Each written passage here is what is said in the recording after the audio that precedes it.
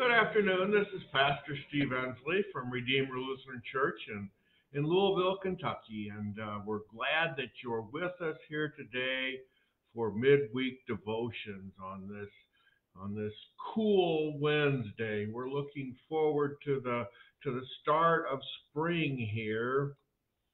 We're getting tired of this cold weather and uh, we had food pantry today and our clients were outside in in the cold weather, so that's not a good situation. So we're looking forward to some more moderate weather. We're glad you're with us here today, and I invite you to join me as we begin our midweek devotion with prayer. We thank you, Lord, that you have called us to be your people. Help us to know the greatness of our calling so that we, having one spirit of faith and love, may live in the world as a new and holy generation. May your eternal and righteous will always be before our eyes, so that in soberness and vigilance we might await your coming and witness to your promises until your kingdom comes. Bless the poor, the hungry, the weeping, and the persecuted Mercifully hear the prayers of your people when they call upon you. And give us faith to believe your kingdom belongs to the humble of heart. Through Jesus Christ our Lord, who with you and the Holy Spirit are one God, world without end. Amen. The words I'd like to share with you today are from the 17th chapter of Jeremiah, three verses beginning at verse 5. This is what the Lord says Cursed is the one who trusts in man, who depends on flesh for his strength, and whose heart turns away from the Lord. He will be like a bush in the wastelands. He will not see prosperity when it comes. He will dwell in the parched places of the desert, in a salt land where no one lives. But blessed is the man who trusts in the Lord, whose confidence is in him. He will be like a tree planted by the water that sends out its roots into the stream. It does not fear when heat comes. Its leaves are always green.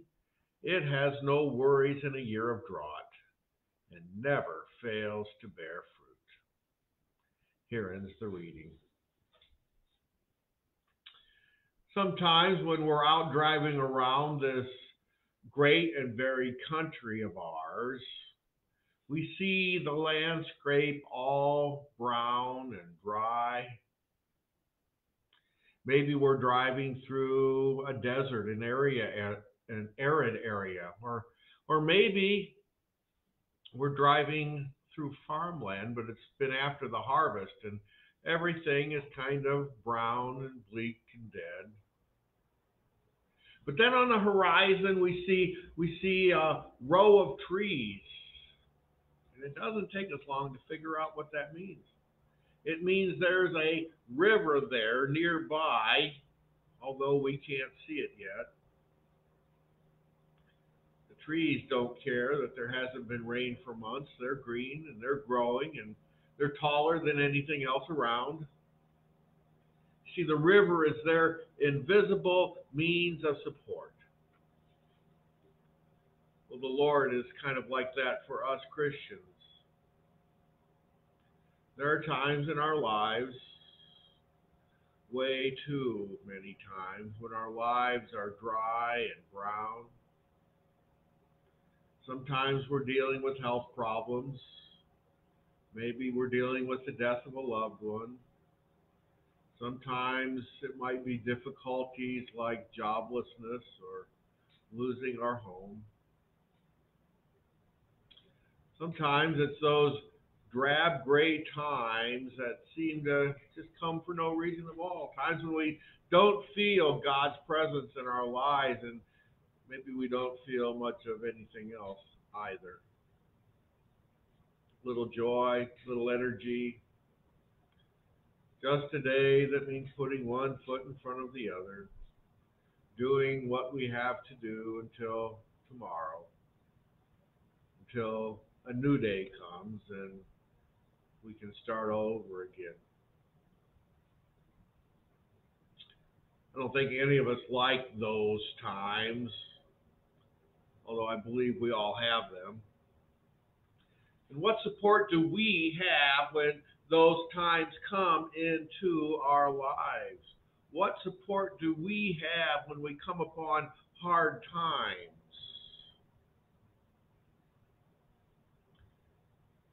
Just this. The Lord is our strength,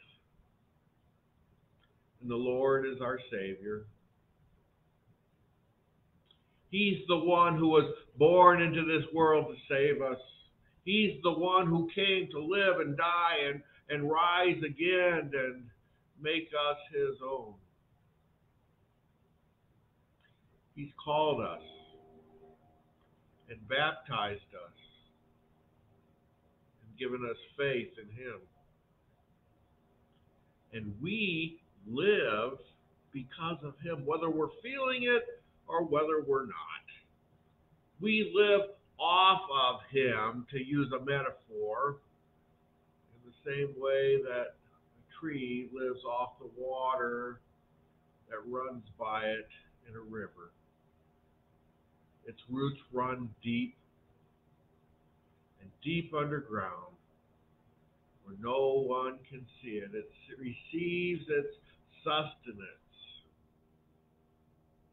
Not even the tree can see it. That connection is invisible, but the result is not because that tree stands tall. That steep tree is green and full, even in the deepest of droughts. Well, Jesus is our support,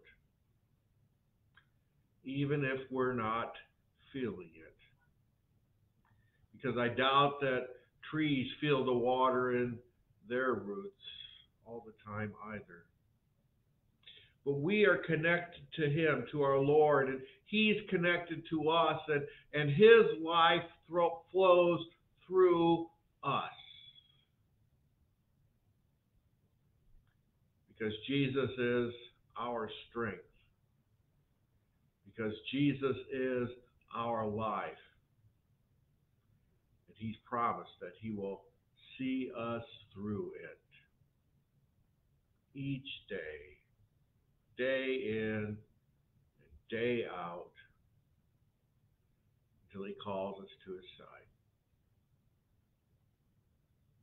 And that will be a glorious day. We pray. Lord, help us to remember and rely upon you because you are our life and you are our strength. Amen. The song I've chosen for today, I think it will be familiar to many of you. It's called Leaning on the Everlasting Arms. What a fellowship, what a joy divine, leaning on the everlasting arms. What a blessedness, what a peace is mine leaning on the everlasting arms, leaning, leaning, safe and secure from all alarms, leaning, leaning, leaning on the everlasting arms. What have I to dread? What have I to fear? Leaning on the everlasting arms. I have blessed peace with my Lord so near. Leaning on the everlasting arms. Leaning, leaning safe and secure from all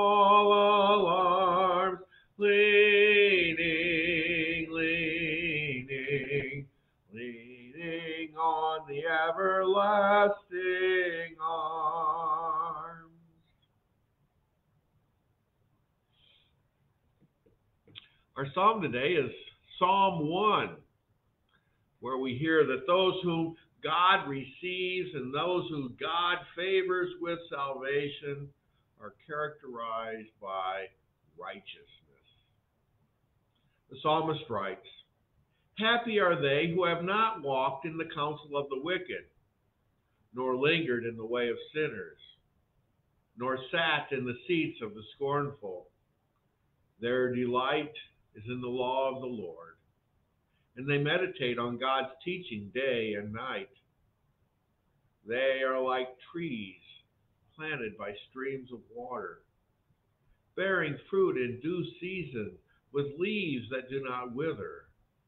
Everything they do shall prosper. It is not so with the wicked. They are like chaff, which the wind blows away. Therefore, the wicked shall not stand upright when judgment comes, nor the sinner in the counsel of righteous of the righteous. For the Lord knows the way of the righteous, but the way of the wicked shall be destroyed. Here ends the psalm. Would you join me in Luther's morning prayer? I thank you, my heavenly Father, through Jesus Christ, your dear Son, that you have kept me this night from all harm and danger. And I pray that you would keep me this day also from sin and every evil, that all my doings and life may please you. For into your hands I commend myself, my body and soul, and all things. Let your holy angel be with me, that the evil foe may have no power over me. Amen. We continue with the prayer that Jesus taught us. Our Father, who art in heaven, hallowed be thy name. Thy kingdom come, thy will be done on earth as it is in heaven. Give us this day our daily bread, and forgive us our trespasses, as we forgive those who trespass against us. And lead us not into temptation, but deliver us from evil. For thine is the kingdom, and the power, and the glory forever and ever. Amen. And now, my friends, may the peace of our Lord Jesus Christ, the love of God, and the fellowship of the Holy Spirit be and abide with you always. Amen. Thanks for being with us today, for joining us for our this midweek devotion.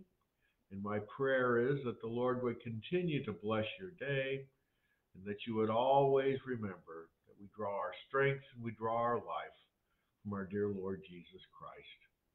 I look forward to seeing you again on Sunday, be it here in the sanctuary or online right here. And may God bless your day. Good day.